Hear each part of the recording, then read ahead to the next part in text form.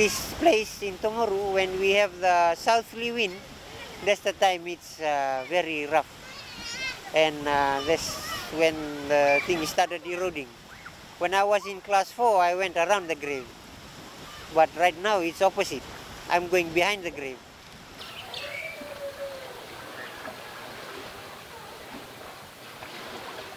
sabake mata uvia uvinga una kere me wele na ena sivita chukara no guvale na wali sabake ambula visinga saba chukara na habake mata uchuko vio no rechu na na uwani sivita chukara vale Yeah, climate change has affected us. Even the soil, when we plant, it was not like before when we plant, we have healthy crops. Now it, it's dying. Salt water is eaten through. I grew up in Navua and we used to swim out just, you know, with the amount of land the, just out here. And uh, it's shocking to come back after 28 years and see that the amount of land uh, and, uh, has washed away, yeah, eroded from uh, climate change. Oye, no dangi. Padre wala. Dangi. Ero sa to soro na bi i o chininga go mai bona go. Ni wo wo. Small island developing states are among the worst affected by sea level rise, and Fiji is no exception. With more than 300 islands that are spread out over more than 18,000 square kilometers, Fiji's population is one of the most vulnerable on the planet. The coastal settlement of Togoru is about 60 minutes away from the capital city. For years, the people here have looked on as the sea mercilessly took away the ancestral graves, which are now surrounded by the sea. Yeah, but when I got married, when I was married, we used to walk around the grave. There was a big uh, wutu tree, wutuai, right out there, right there. And then we used to go around. Before, we on the beach side, all, we only know that on Easter's we have spring tides.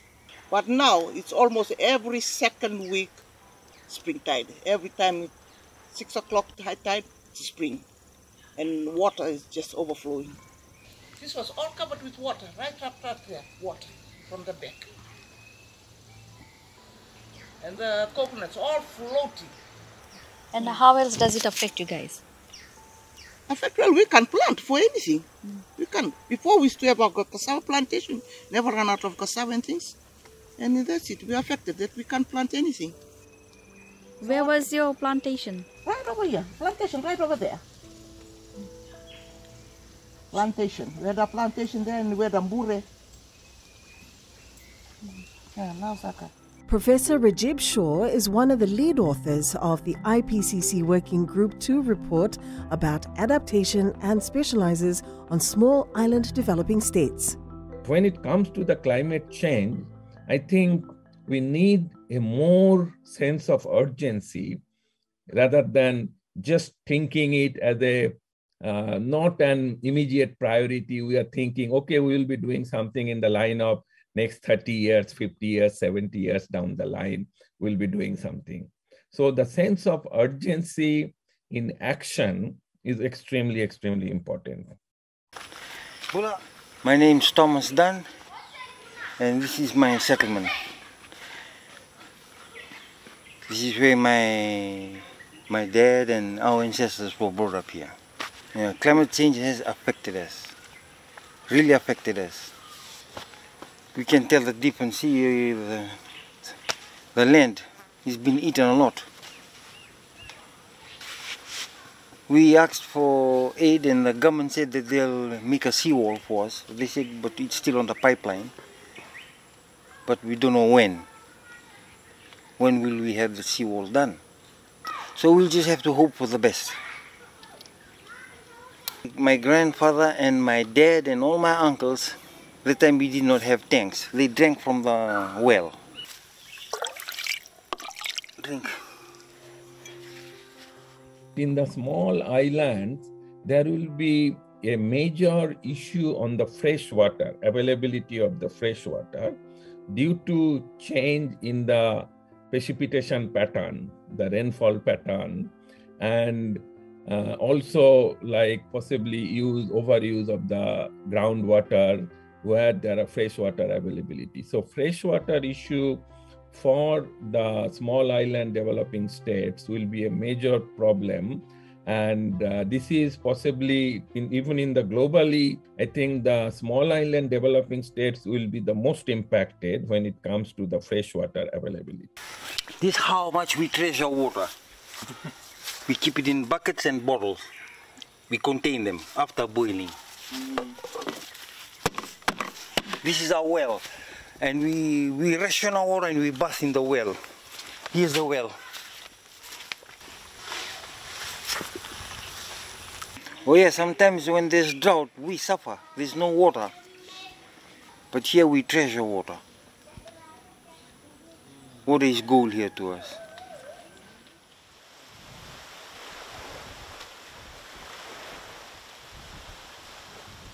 Yeah, this is our new grave uh, site because after that one gone in the sea, so we got a new one. But uh, the problem is this place all salt water around. So we just bury people when it's low tide. You can't bury people when it's high tide. The chiefly village of Veiwatuloa is part of the Namosi province and residence of the Tuinamosi, the High Chief of Namosi. Around 200 people live here.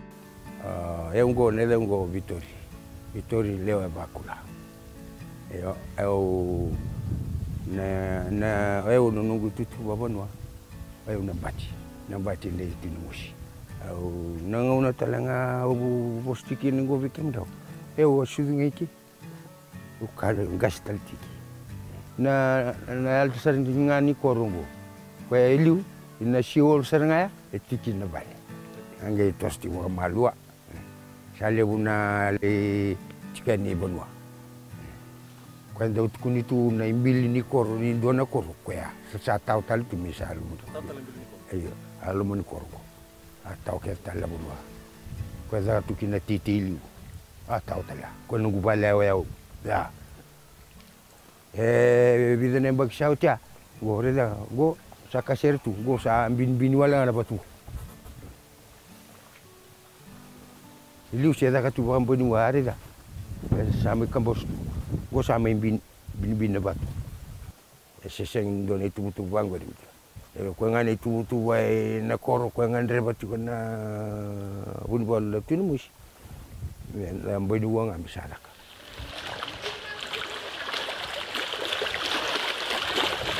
Now, a few issues which the science says that tropical cyclone, tropical cyclone, in terms of both severity and frequency, it will increase, and these actually are already superimposing the already the sea level rise impact. It will also have some very strong impact on the critical infrastructure especially the lifelines, as well as also the agriculture and the food production of the countries. ke mu langa da wai tunga ke mu rawai la me ke na kur kur mi lang ki ma lai siwa goli avivili wai tunga na kur kur mi lang ki ma na kor ni ka Kuku sar waye laksar nga lom likor na wanga rakel kel sar nga lom likor ni lako mi dona fenglan baba mi woli iyo baba mi bi wor nangon sang do tambo tako makira nga nangon mira kauna bol na bol ke bol baru kin patara kokowa ni wo patakina fani do lako mo Asa, kesa mata una tuvango en batini, mava, batini, batini, wai tu sa na chiku chiku ta go na tu chiku chiku kito na wano bawa tiku tiku We need to possibly depend very strongly on what we call the ecosystem-based adaptation um, uh, processes. As I mentioned, that there are there will be and there are already some changes in the ecosystems in the coastal area, but um, we need to we can't just make say sort of uh, hard infrastructure just to protect everything. We possibly need to depend on more blue and green infrastructure and focusing more on these ecosystem based issues, uh, both in the mountain area, forest area, as well as in the coastal ecosystem. Because staying in Suva, staying in interiors, you won't feel anything regarding climate change. But staying in an island, you'll see the sea level rise. Before my father, my grandfather, they used to go out fish, and now once they come back, they don't have any fish. Now, before it used to be plenty. So in Lakemba, uh, what we have been doing so far is uh, in terms of climate change, we have been planting corals, uh, a natural type of uh, sea barrier, a reef. And apart from that, we have been doing mangrove, we are building uh, sea walls, because these days the water level before it used to be very low, and now it's just pushing it up. We have done a lot of awareness now. It's time to act together. Young people are now increasingly becoming aware of the need to protect their natural environment and are becoming climate change activists at a very young age. We just hope it will get better in the future. We just have to pray hard. Every end of uh, the year during Christmas, we used to go to my village, and uh, every Christmas we can see changes. And my advice to the people near the village and the people near the river just be prepared because climate change is really happening so fast. The, the mangroves, they act as nursery to fish and they also act as our windbreakers for coastal villages. So today we planted uh, 3,000 mangroves here. Further that side, that was our first mangrove planting, December 1st and we planted 2,000 mangroves. And we also had our second mangrove planting over there, where my Park, Thambure. We also planted 3,000 mangroves. I'm willing to write a book about uh, the ecological footstep. Um, it's about uh, how the adults of uh, this generation messed it up for us and how kids, uh, my generation, have to clean it up and we may not have the privileges that the adults today have.